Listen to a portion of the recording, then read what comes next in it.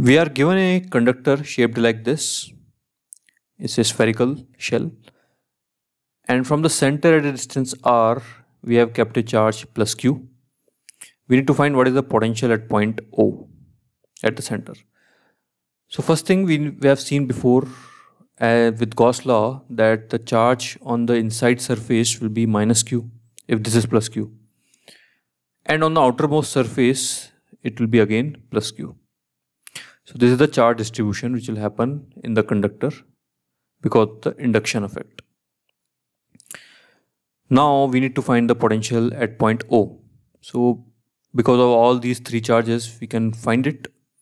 So VO is equal to V because of plus Q. I think, I, yeah, I mean this. So V because of plus Q plus V of minus Q induced because of this charge plus V of plus Q induced. So potential because of this charge. So because of plus q, it's going to be kq by r because this q is at a distance r. Because of minus q, it's going to be k into minus q by r1. And because of this plus q, it's going to be k into plus q by r2, which is our answer.